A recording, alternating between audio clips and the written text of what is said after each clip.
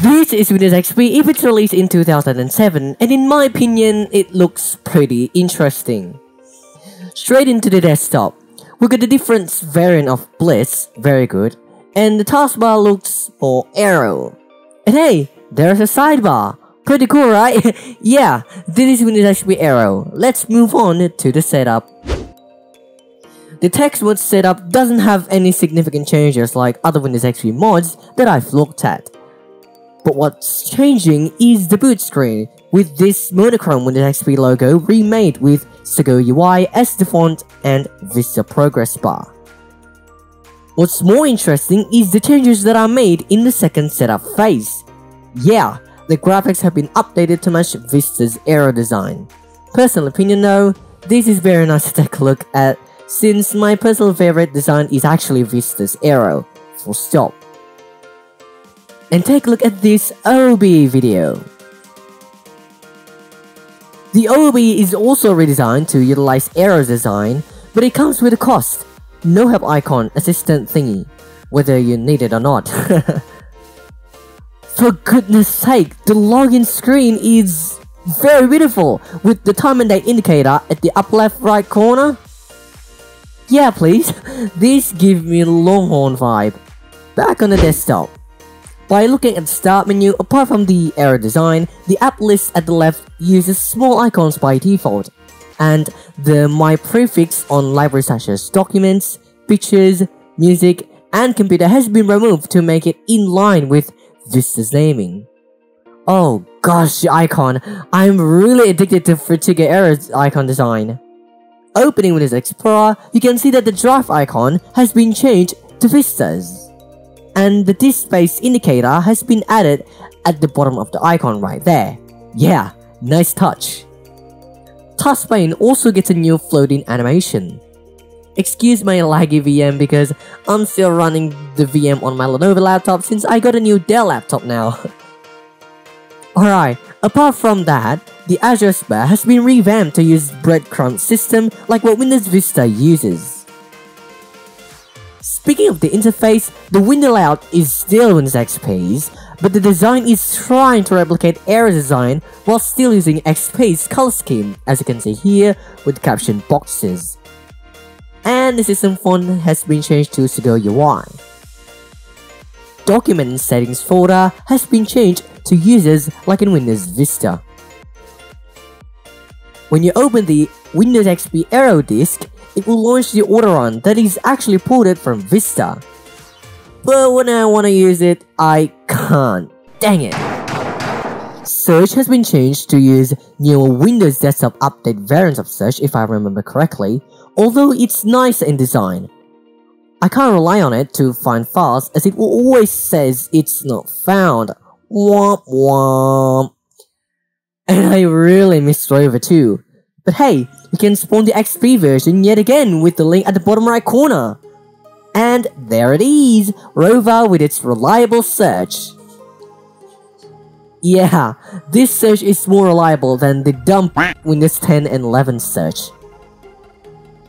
Moving into sample media, yes, this mod brings new sample media in which I can only play it for less than 5 seconds before I got a yellow dollar sign and a copyright claim. Yuck. Sample pictures are also available here. And sample video too, which are taken from Windows Vista. But actually I can't play properly at the moment. Sad face. After restart, now we can see apps that are ported from Windows Vista such as Paint, Sound Recorder, and games like chess, which I quickly give up because my brain is too numb. And can you believe it? Reversi! you can't get it on either XP or Vista, aren't you? Internet Explorer 7 and Windows Media Player 11 is bundled with this mod. Snipping tool is also available in here. Also, don't forget about Windows Defender and Windows Calendar. One interesting app that's included in here, or at least installed, is Timershot. Timershot. which I don't really know how it works, but I assume that this is a webcam app which will count down the capture perhaps. Tell me in comments if you know what it is. Sticky Notes, which is a feature from the tablet PC edition, is there if you want to write anything or if you want to install this on a tablet. And for journaling, you get Windows Journal. Like modern Windows with pressing Shift, upon right-clicking the desktop or any folder, you can open command prompt. But in this mod, you don't need to press Shift to do it. Now that's what I call a better user experience. Another change in user experience is the personalization control panel which is taken from Windows Vista. It is functional and it links to the corresponding settings. Sound scheme is taken from Windows Vista somehow. And there are a bunch of new wallpapers and screensavers. For example, this Windows Energy screensaver which is literally eye candy. A little nice touch is the automatic updates applet which has been renamed to Windows Update. Oh, you think that nice touch is just that? Nope! This comes with a new OTAP look too! Although it's not the same as Windows Vista, but this... yeah, this is pretty good. How many times did I say good with this mod? Since this is based on Windows XP, of course, you can use this on other computers or try it on a VM yourself. I really appreciate the work made by Nico One-Shot, formerly known as Modobi I. Yeah, she's the same person who made Windows MESC. For a Windows mod, this is really well made and consistent, unlike bootlegs that try to look like Vista, and it either ended up over-exaggerating or just poorly made. Wait, what? There's more? Really? For God's sake! Apparently, there's an extra pack for this mod. I think the reason why it isn't bundled with yours by default is to not make it feel like a bootleg and make it not bloated. Yeah, I see that. With a whopping 2 gigabytes of size, I'm sure this came with so many extras, right? Oh look, there's text file which explain what has been added. Alright, let's look at each of them. We got new games installed such as Hold 'Em Poker, Microsoft Tinker, and 3D Pinball. What? Are you telling me that pinball wasn't installed the whole time?